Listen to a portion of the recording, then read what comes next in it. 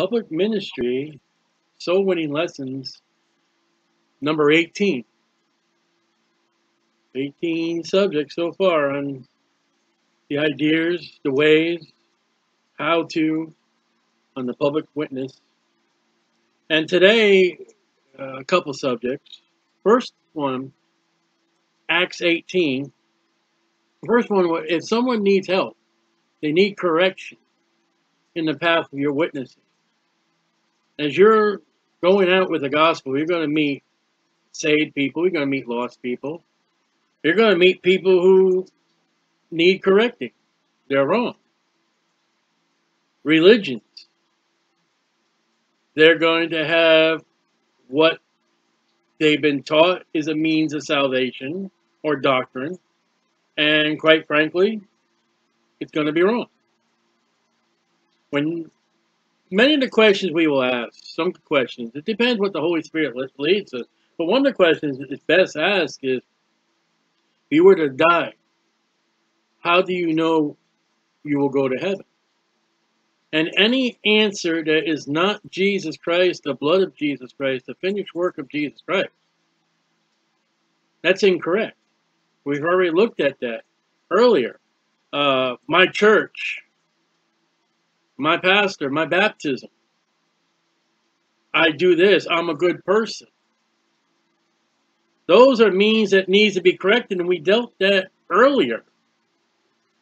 And what I'm talking about now is correcting. You meet somebody, they're saved, they're out doing things for the Lord, but they don't have their doctrine, they don't have what they do is correct.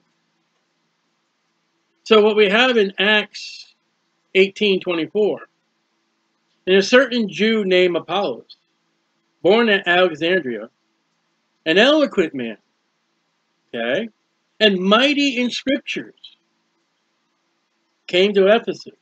So he's eloquent. Alexandria, that's, you know, the very well-known uh, library. And mighty in the scriptures.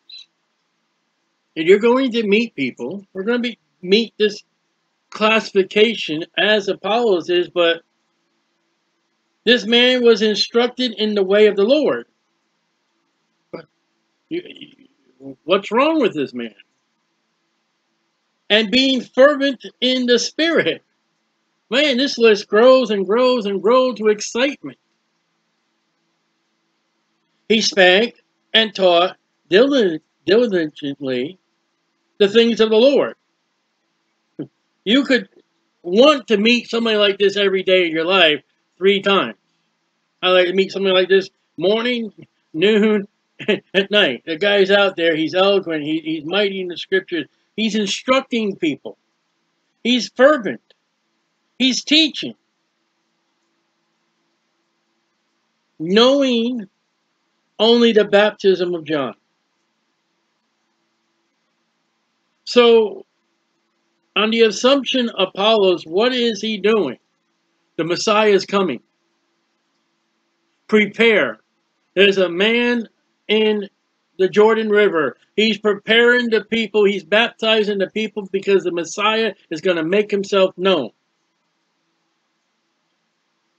The Messiah has already come. The Messiah has already lived out his life.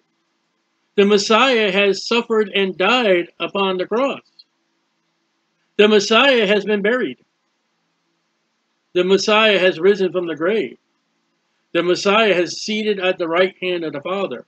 The disciples, the apostles of the Messiah, Jesus Christ, are out witnessing and telling people about the gospel and how to be saved. Apollos, mighty, eloquent, instructing, fervent, spoke and taught.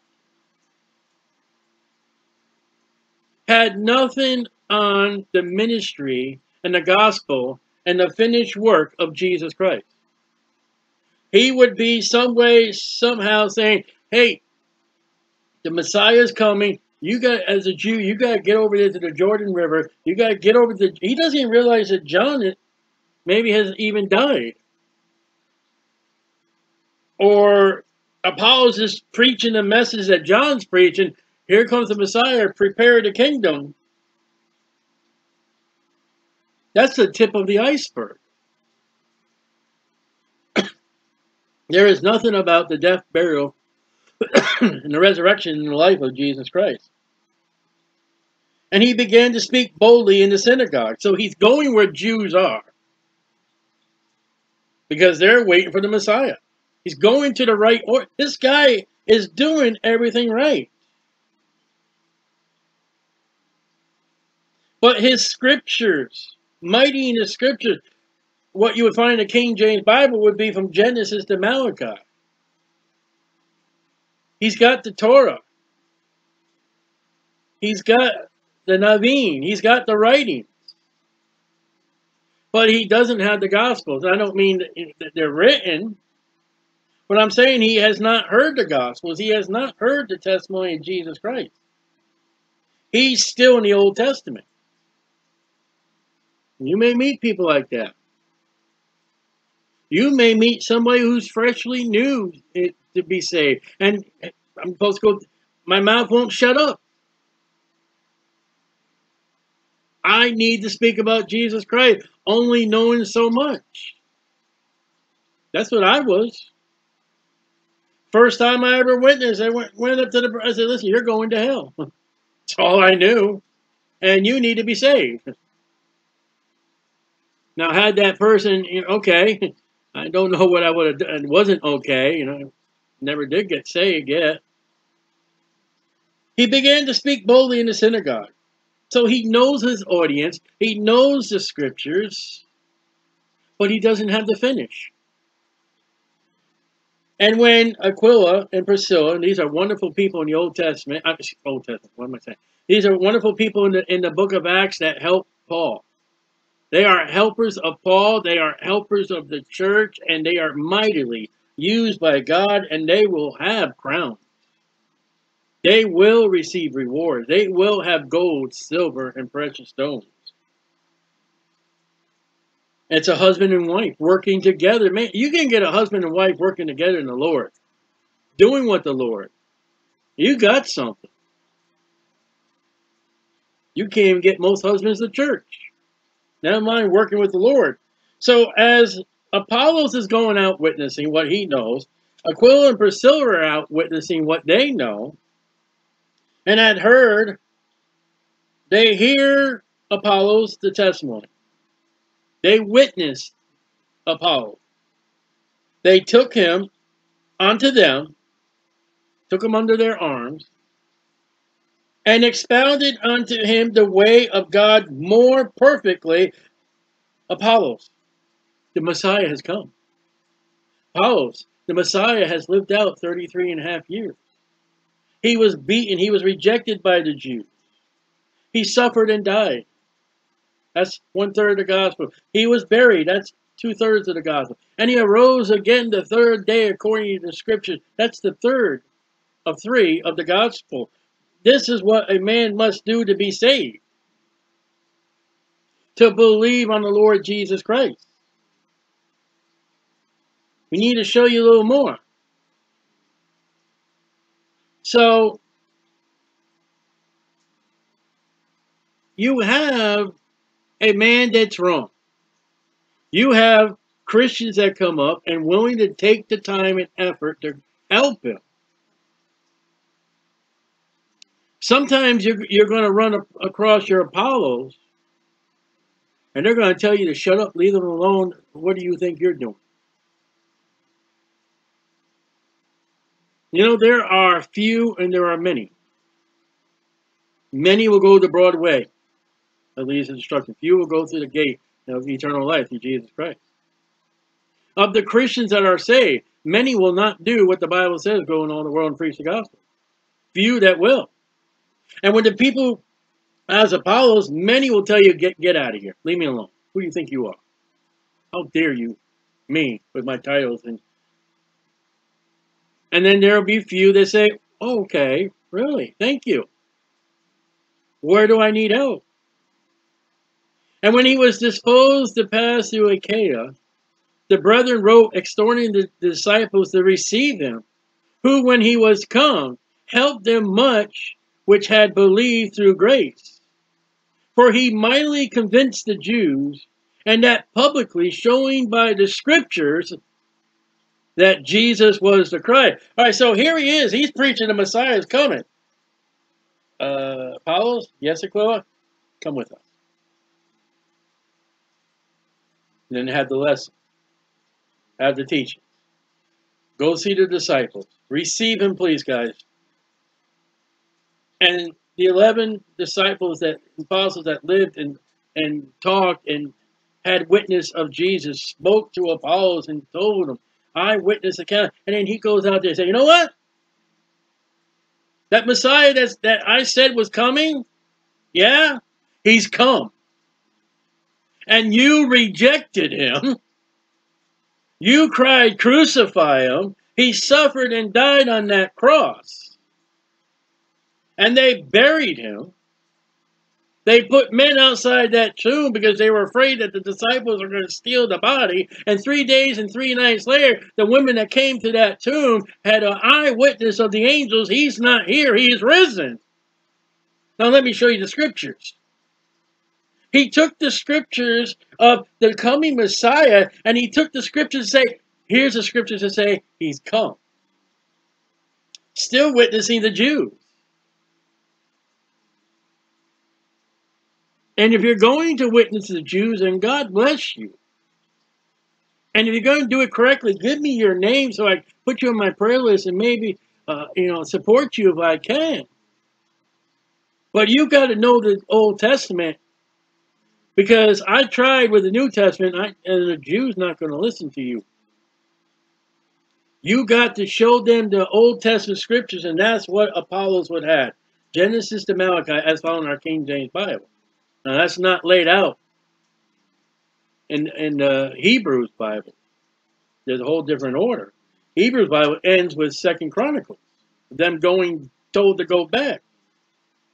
So you may find along the way that you'll have to take somebody. Listen, there are people getting saved today. I, as one, will raise my hand. Do you want to believe Jesus Christ is your Savior? Okay, yeah, bow, bow my knees, receive Christ. Truly, I am saved. Where'd you go? It's like Philip and the Ethiopian. The Spirit took Philip away, and the Ethiopian never saw him again. That's many people go out witnessing.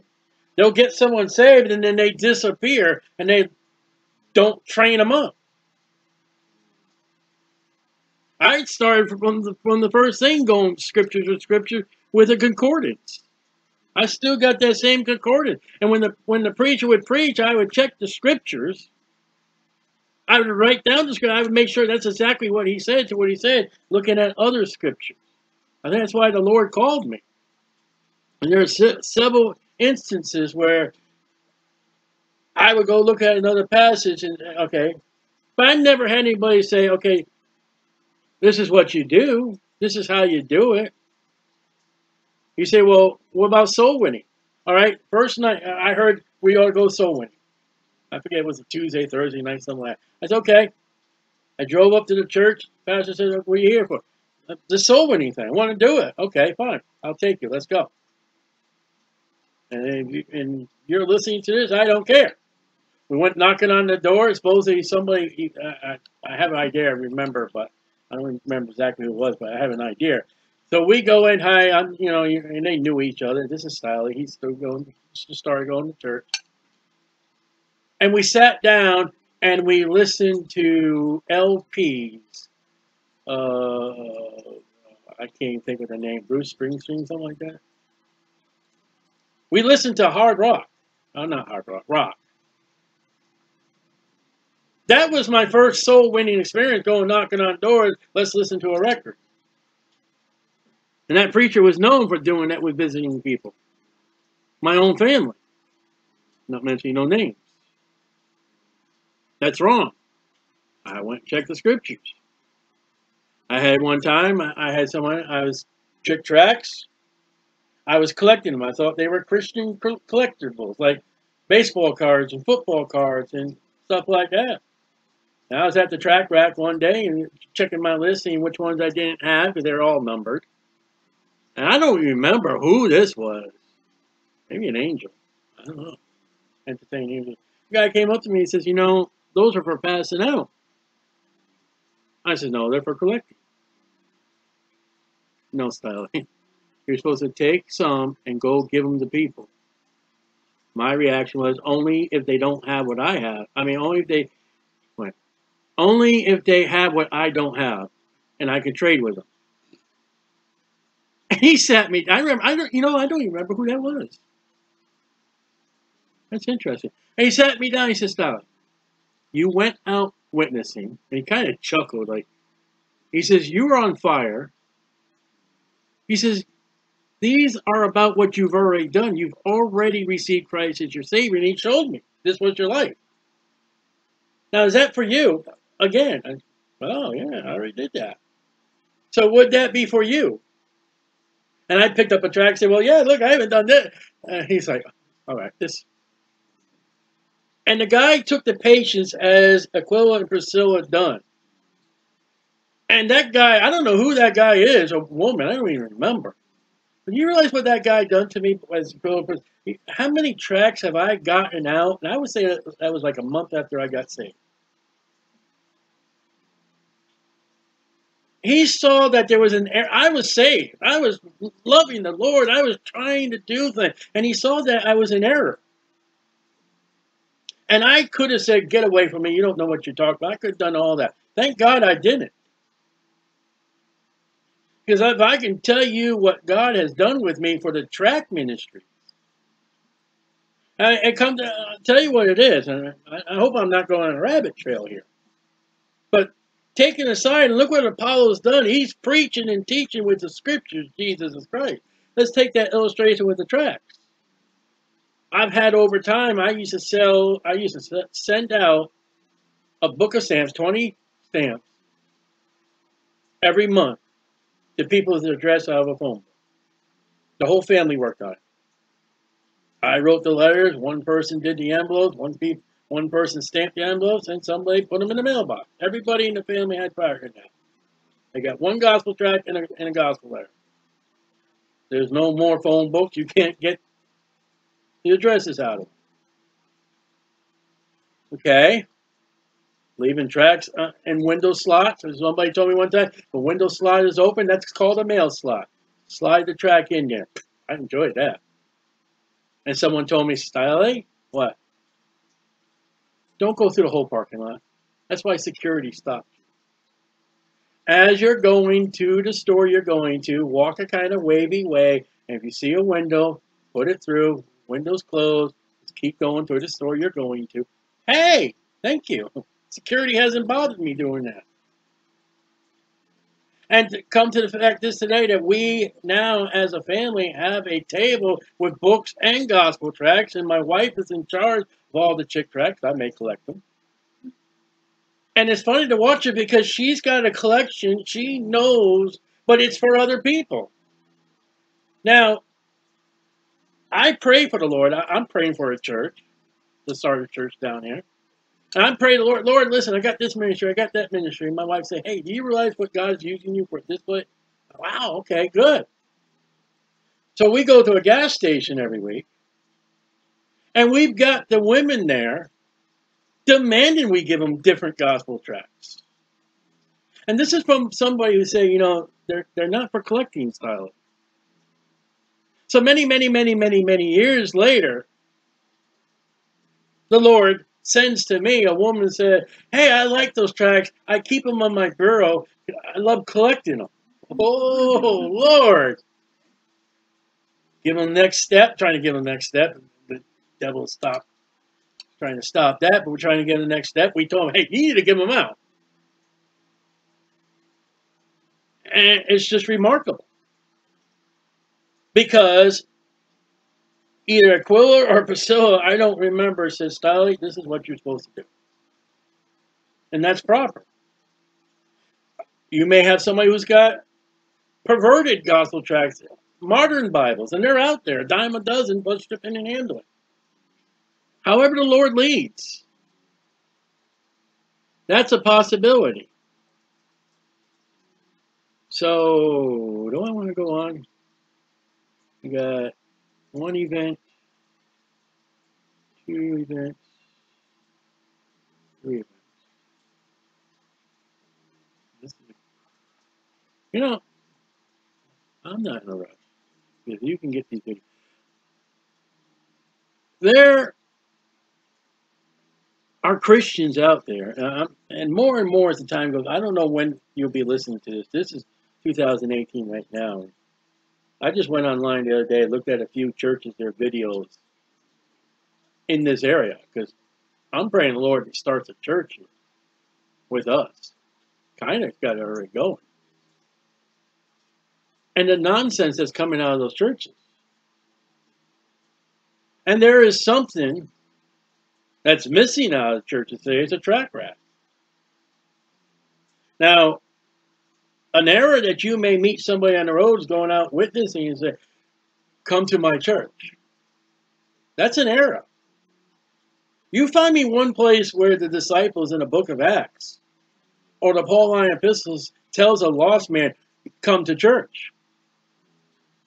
You may have to hey, you know what? There's a ser series of videos by this man. It's all about public witnessing. It's all about soul winning. Man, he starts with the basics, and he goes with with with uh, uh, the milk, and then he just goes and goes and goes. And these videos are great, and I I, I give you all permission to get these videos out anyway, anyhow. They're not copyrighted. They're not to be sold. They're free. They can help you grow in the Lord. You may not even know right now, but you know someone who's interesting as a Apollo. And you're just watching it, use this video, give it out. But there will be times you'll come across people and they'll have to be taught better than what they've been taught. Or they'll have to be taught because they've never been taught yet. And God will bless you. And God will bless them again the negative side of all these videos, 18 of them, or audio, however you listen, there are many and few. Many are not going to listen. Few will. Those that listen, many are not going to do. Few will. Many you meet that need correction, and few are going to be like Apollo. But there will be times in our life that we will have to be Aquila or Priscilla. And in the ministry that God has given us, with my wife and myself and my daughter, we are Aquila and Priscilla to many. And the Lord blesses and helps. And it's rewarding. It's almost like raising a child again, those first steps, the first mama, the first dada. And you look at that person the Lord is giving you, and when they progress and do good and get better and better, it's like, wow. Thank you, Lord. And the Lord can say, well, thank you for putting yourself out. I can't find many people that will do that. They just won't. But you will, and if you apply yourself. And the, and the object of this lesson today is so many may not be always going out there and someone's going to get saved. I've already warned you about that. So many is not always able to get saved. I warned you about that. I'm saying it over and over. Because that's what churches are looking for. They're looking for notches on their belt. I'm hearing all the, I hear today, oh, we got eight saved. If it's over to number two, I doubt it. I quit. I don't know. That's between God and them, but with the practices that churches are using today. But when we go out for the public ministry, it's not just for soul winning. That's why I, I, I call it the public ministry. Because you may meet somebody who's already saved and they've been left by the wayside. You may have to pick them up. Remember, it was the priest that saw that man beaten by the thieves on the side of the road and he walked the other way. can't touch him. I'm a priest. It was the Levite that also saw the same man and said, Ew, I got things to do. I got appointment at 2 o'clock. But it was the good Samaritan that came along, saw that man, and wow, Ooh, let me let me clean that. Oh, that looks bad. Let me here. Here's a little wine. Get, get a little nourishment in you. Here, let me help you get put you on my mule. Let me bring you to a clean place to get you more cleaned up. And the Lord may put those kind of people in our way. So let's get off the fact, oh, soul winning, soul winning, soul winning. Let's get the fact is make grow, grow, grow, growing. There are too many who have been soul won, but there few have been grown. You know, eventually, if you start a garden, and I know this, ask me, I'm an expert on this, expert of all experts. I started, I clear out the land, I, I, I plant the seeds, I put them in rows, tomatoes, tomatoes, peppers, cucumbers, yeah. And then summer comes. Hot. Hot to work that garden. Oh man, no, I got other things to do. I can't do the work today. It's just, it's gonna rain. I'm not gonna do it. And then by the time you come at the end of summer, you come back to that garden and it's been overpowdered by weeds. Because I didn't tend to it. I didn't take care of it. I didn't seek to it. I didn't make sure I maintained it. And you may find a tomato or a cucumber. And you may find that one person who no one uh, maintained, no one helped, no one took care of, no one removed the world, no one removed other stuff and to help him grow. You may find it. And God may be leading you. What you thought you were soul winning is Apollos. He needs to be grown. He needs to be taught. And it doesn't say how long it took Aquila and Priscilla, but look at the results. Look at what happened when he said, okay, I want to learn. For he mightily convinced the Jews, and that publicly showing by the scriptures that Jesus was Christ. That also equates to Aquila and Priscilla. They are charged for what he has done properly. And when we find someone and bring them up the right way in the Lord, Man, look what they can they can do more than what you have done. So let's get off the fact is that soul winning, soul winning, soul winning, win soul. Let's go out there, let's preach the gospel like we're supposed to do. Let's plant or water like Paul said we're to do. And there may be someone out there that God will put in your path Go over there.